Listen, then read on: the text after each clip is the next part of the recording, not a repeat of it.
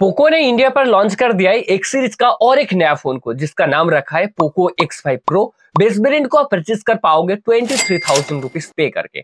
और प्राइस के हिसाब से जो फ़ोन है, कमाल की स्पेसिफिकेशन के साथ आ रहा है।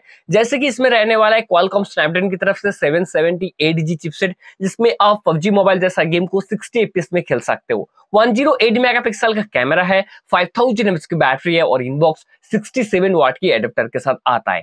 लेकिन यार, फ़ोन की प्राइस और स्पेसिफिकेशन की तरफ़ देखा जाए, लगभग सेम स्पेसिफिकेशन के साथ आता है रेडमी नोट 12 प्रो इसलिए बहुत सारे दोस्त कंफ्यूज है ये दोनों फ़ोन लेकर। आज इस वीडियो में मैं आपको बहुत ही आसान तरीके से समझाने के लिए कोशिश करूँगा, कौन सा फ़ोन आपके लिए बेस्ट होने वाला है और कौन सा फ़ोन को आपको परचेस करना चाहिए। चलिए दोस्तों, ये जो कंपैरिजन शुरुआत करता हूँ दोनों फ़ोन की डिस्प्ले से अभी शुरुआत कर दीजिए इस वीडियो को लाइक करके। डिस्प्ले की तरफ़ देखा जाए, दोनों फ़ोन की साइज़ में यहाँ पर अंतर नहीं रहने वाला है। दोनों फ़ोन आता है 6.67 inch full H D plus AMOLED panel के साथ और दोनों फ़ोन में 120 ट्वेंटी का रिफ्रेश रेट रहने वाला है। दोनों फ़ोन में Widevine L one H D plus certification और डॉल्बी विसोन का सपोर्ट देखने को मिल जाएगा क्योंकि दोस्तों, अगर आप मूवी या वीडियो ज़्यादा देखते हो तो आप डिस्प्ले के मामले में ये दोनों फ़ोन से कोई भी एक फ़ोन को चूज़ कर सकते हो।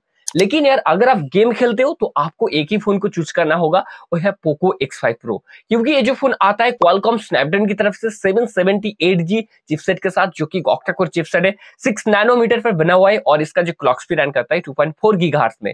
इसमें आप पबजी मोबाइल या फ्री फायर जैसा गेम को 60 एपीएस में आराम से खेल सकते हो हैंग वगैरह नहीं होने वाला है, और इसमें जायरो का परफॉर्मेंस टू गुड देखने को मिल जाएगा ऐसे भी रेडमी के अंदर भी आप गेम खेल सकते हो, क्योंकि रेडमी का फ़ोन आता है मीडिया टेक डायमेंसिटी की तरफ़ से वन ज़ीरो चिपसेट के साथ, जो कि ऑक्टाकोर चिपसेट है सिक्स नैनोमीटर पर बना हुआ है और इसका जो क्लॉक स्पीड रन करता है 2.6 गीगाहर्ट्ज में। इसमें भी आप पबजी मोबाइल जैसा गेम को 60 पीस में खेल सकते हो। लेकिन यार गेमिंग के लिए पोको को बहुत ही अच्छी तरीके से ऑप्टिमाइज किया है। उसमें गेमिंग का परफॉर्मेंस बहुत ही स्मूथ देखने को मिल जाएगा क्योंकि अगर आप गेमर हो, अगर आप फ़ोन को थोड़ा हेवी में यूज़ करते हो तो आपको जाना चाहिए पोको X5 प्रो की तरफ़। ऐसे भी दोस्तों कैमरा के लिए भी विनर रहने वाला है पोको X5 प्रो क्योंकि इसके पीछे की तरफ़ है ट्रिपल कैमरा सेटअप प्राइमरी जो सेंसर है one zero eight 108 megapixel 8 megapixel ultrawide और टू मेगापिक्सल है। इसके बैक कैमरा से आप 4K में वीडियो को रिकॉर्ड कर सकते हो और रेडमी का फ़ोन आता है पीछे की तरफ़ ट्रिपल कैमरा सेटअप के साथ।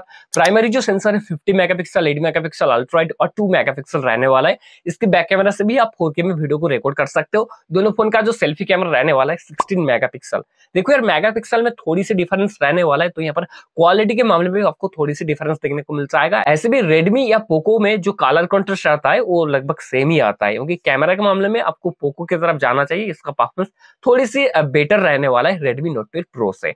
ऐसे भी दोस्तों डिज़ाइन की तरफ़ देखा जाए, यहाँ पर इतना ज़्यादा डिफरेंस नहीं देखने को मिलेगा। दोनों फ़ोन लगभग सेम डिज़ाइन के साथ आ रहा है, सिर्फ़ पोको की पीछे की तरफ़ पोको का ब्रांडिंग है। जैसे कि दोस्तों, आप यहाँ पर देख सकते हो रेडमी नोट ट्वेल्व प्रो का डिज़ाइन कितना खूबसूरत रहने वाला है। सेम डिज़ाइन के साथ पोको भी आता है, इसका जो फ्रेम है वो फ्लैट एजेस के साथ आता है। पीछे की तरफ़ दोनों फ़ोन का डिज़ाइन काफ़ी खूबसूरत रहने वाला है ट्रिपल कैमरा स्टेप है एलईडी फ्लैश रहने वाला है रेडमी में रेडमी का ब्रांडिंग पोको में पोको का ब्रांडिंग रहने वाला है। फ़ोन साइड की तरफ़ देखा जाए, दोनों फ़ोन आता है सेंटर पंचोल के साथ दोनों फ़ोन का डिस्प्ले का बजल और नीचे चेन छोटा रहने वाला है और दोनों फ़ोन में साइड माउंट फिंगरप्रिंट सेंसर भी है। क्योंकि दोस्तों डिज़ाइन में तो इतना ज़्यादा फ़र्क नहीं है तो डिज़ाइन के मामले में आप कोई भी एक फ़ोन को चूज़ कर सकते हो। ऐसे भी दोनों फ़ोन की स्टोरेज की तरफ़ देखा जाए, दोनों फ़ोन का बेस वेरिएंट स्टार्ट होता है। Six GB one twenty eight वाला वेरिएंट से एलपीडीआर फोर एक्स का रैम है। ऑब्वियसली दोनों फ़ोन में वर्चुअल रैम का फीचर्स है और दोनों फ़ोन में यूएफएस 2.2 का स्टोरेज टाइप है। दोनों फ़ोन की अदर स्पेसिफिकेशन की तरफ़ देखा जाए, दोनों फ़ोन आता है एंड्रॉइड ट्वेल्व के साथ और दोनों फ़ोन में यूआई में थोड़ी सी डिफरेंस देखने को मिल जाएगा क्योंकि रेडमी का फ़ोन आता है म्यू यू आई के साथ और पोको का फ़ोन आता है म्यू यू आई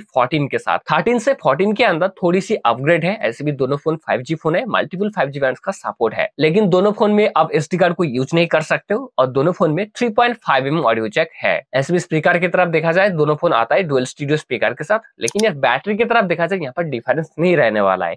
दोनों फ़ोन आता है फाइव थाउज़ेंड एमएच बैटरी के साथ और दोनों फ़ोन इनबॉक्स आता है 67 वाट के एडेप्टर के साथ। दोनों फ़ोन में सेम एमएच की बैटरी है, क्योंकि बैटरी बैकअप दोनों फ़ोन में लगभग सेम देखने को मिल जाएगा। लेकिन यार प्राइस की तरफ़ देखा जाए, दोनों फ़ोन में बहुत ज़्यादा डिफरेंस रहने वाला है। पोको का बेस वेरिएंट आता है ट्वेंटी थ्री थाउज़ेंड रुपीज़ में रेडमी का बेस वेरिएंट आता है ट्वेंटी फाइव थाउज़ेंड रुपीज़ पे अब बताता हूँ कौन सा फ़ोन आपके लिए बेस्ट होने वाला है और कौन सा फ़ोन को आपको परचेस करना चाहिए। दोनों फ़ोन की प्राइस में देखा जाए, थोड़ी सी डिफरेंस रहने वाला है।